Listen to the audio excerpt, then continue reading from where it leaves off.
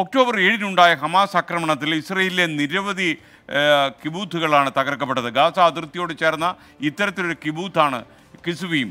പതിനാറ് പേർക്കാണ് ഇവിടെ ജീവൻ നഷ്ടപ്പെട്ടത്. കിസുവിയും സന്ദർശിച്ച ട്വന്റി ഫോർ വാർത്താ സംഘം തയ്യാറാക്കിയ റിപ്പോർട്ടാണ് ഇനി. ഗാസ അതിർത്തിയോട് വളരെ അടുത്ത് ചേർന്ന ഒരു കിബൂത്താണ് ഞാൻ നിൽക്കുന്ന കിസുഫീം കിസുഫീം എന്ന ഈ കിബൂത്തിലും ശക്തമായിട്ടുള്ള ആക്രമണമാണ് ഒക്ടോബർ ഏഴിന് ഉണ്ടായത്.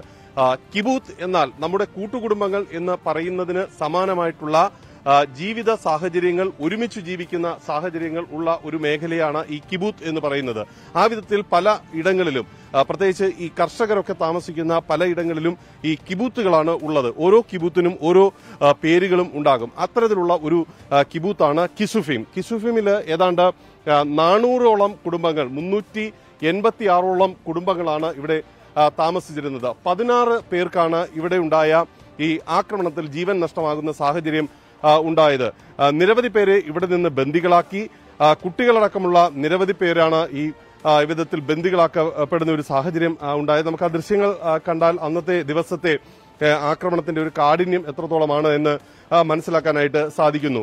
രാവിലെ ഏതാണ്ട് ആറ് മണിയോടുകൂടിയാണ് ഇവിടേക്ക് ഈ ഹമാസ് സംഘം എത്തിയത് എന്നാണ് ഇവ ഇതുമായി ബന്ധപ്പെട്ടിട്ട് നമുക്ക് അറിയാൻ സാധിക്കുന്നത് ഈ ആറു മണിക്ക് ഹമാസ് സംഘം ഇവിടേക്ക് എത്തുകയും ആദ്യ പ്രവേശന കവാടത്തിൽ തന്നെ ഇവർക്ക് ഒരു സുരക്ഷാ സംവിധാനം ഉണ്ടായിരുന്നു ആ സുരക്ഷാ സംവിധാനം ആക്രമിക്കുകയും ചെയ്യുകയായിരുന്നു. അവിടെ രണ്ടുപേർ മരണപ്പെടുന്ന സാഹചര്യമുണ്ടായി. ആകെ പതിനാറ് പേരാണ് ഇവിടെ മരണപ്പെട്ടത്. ഈ പതിനാറ് പേരിൽ ആറു പേർ മറ്റു രാജ്യങ്ങളിൽ നിന്നും ഇവിടെ ജോലി ചെയ്യാനായിട്ട് വന്നിട്ടുള്ളവരായിരുന്നു എന്നതും ഒരു ഘടകമാണ്. ഈ കാണുന്ന ദൃശ്യങ്ങൾ കാണുമ്പോൾ അറിയാം. വളരെ ശക്തമാകുന്ന വിധത്തിലായിരുന്നു ഇവിടെ ഈ ആക്രമണം ഉണ്ടായത്. ഗാസയോട് വളരെ അടുത്ത് ഉള്ള ഒരു മേഖല എന്നത് തന്നെയാണ് ഇതിന്റെ ഏറ്റവും പ്രധാനപ്പെട്ട ഒരു പ്രത്യേകത എന്ന രീതിയിൽ ഈ ഗ്രാമത്തിന്റെ ഒരു പ്രത്യേകത എന്ന രീതിയിൽ ഉള്ളത്.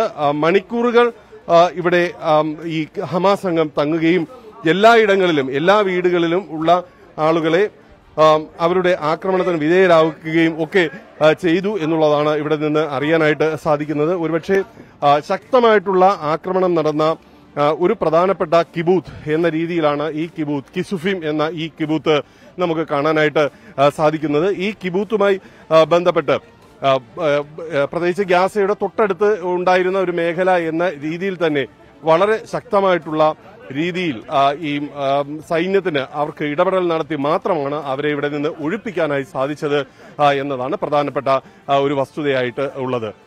ക്യാമറാമാൻ വിപിൻ വേളിക്കൊപ്പം ആർ രാധാകൃഷ്ണൻ ട്വന്റി